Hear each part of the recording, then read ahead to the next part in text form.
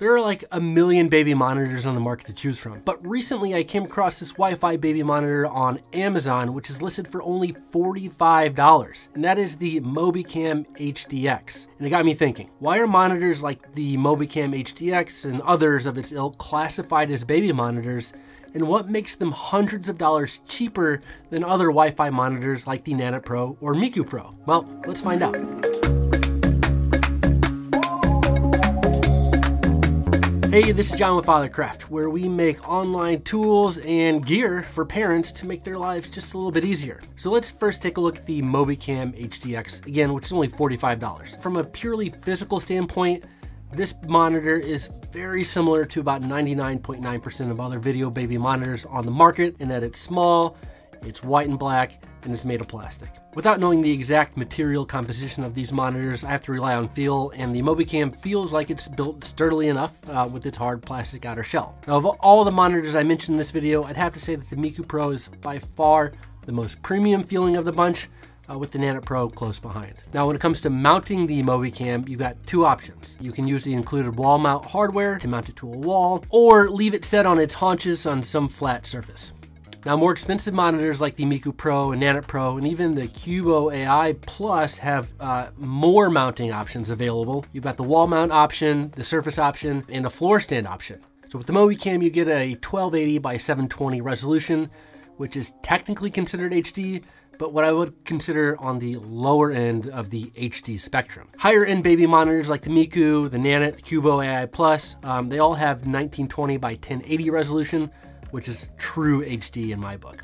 Now to be fair, that's not a huge difference, but the higher resolution for sure makes the night vision feeds on these monitors less grainy uh, than the lower resolution baby monitors like the Mobicam. When it comes to internal processors, monitors like the Miku Pro and Nanit Pro are in another league compared to the Mobicam, and that's because these monitors need to be able to carry out complex functions like monitoring your baby's breathing, so they need more processing power. Okay, so Wi-Fi monitors are built around apps. So let's talk about some of the app features with these monitors. I'll start with the Mobicam because um, it'll go quickly. So connecting the app is actually quite snappy and the connectivity once you're connected is pretty strong. I haven't lost a feed yet while testing this out. Now once you're logged in, you have a handful of features to play around with. You can toggle a full screen view. You've got two-way communication. You have the ability to take snapshots and video recordings, which can then be saved to an album. There's also a cloud storage option as well, but if you have an SD card, you can use that to store all your screenshots and video recordings. If you opt for the cloud storage, you'll need a subscription. Now, there is one feature that stands out with the Mobicam, which in my opinion is something that all Wi-Fi baby monitors should have, and that's its pan and tilt capabilities. What happens is when you've got the app open,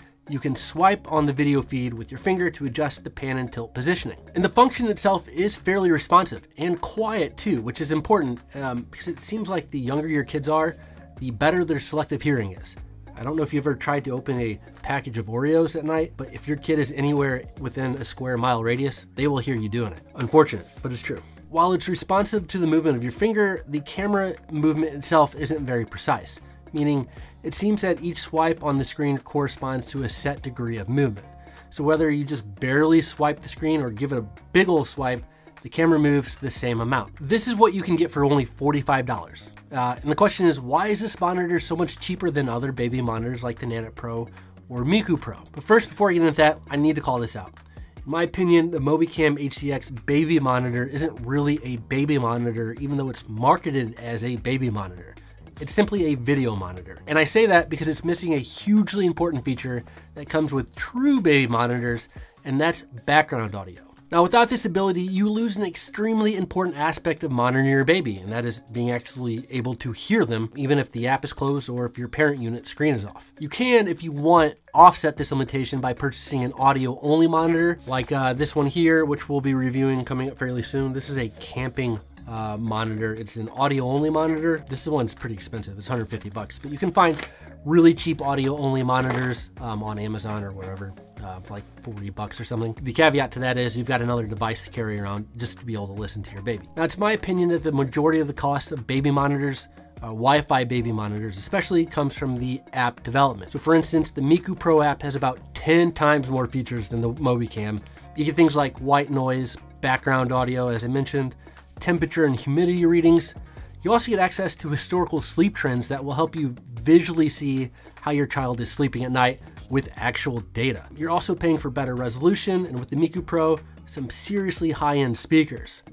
But the biggest difference between these monitors breathing monitoring. So the processing power of monitors like the Miku Pro and Nanit Pro are vastly superior to these cheaper monitors and allows for more functionality like breathing monitoring. With the Miku Pro, breathing monitoring is performed automatically, while with the Nanit Pro, you have to use their proprietary breathing wear to utilize its breathing monitoring capabilities. So you're not just paying for the way cooler app, but you're also paying for a far more robust operating system within the monitors themselves. Okay, so having said all of that, I do think these cheaper monitors are worth considering in certain situations. I definitely wouldn't recommend them for new parents with newborns because they actually do not do enough baby monitoring. But for parents who say have like an older kid and a newborn on the way or a newborn in the house, um, and who don't want to shell out hundreds of extra dollars for a second fancy Wi-Fi monitor, then these cheaper monitors are definitely worth looking into and I think the way to go. Now, just a friendly reminder, head on over to fathercraft.com slash bag to check out our ruggedly handsome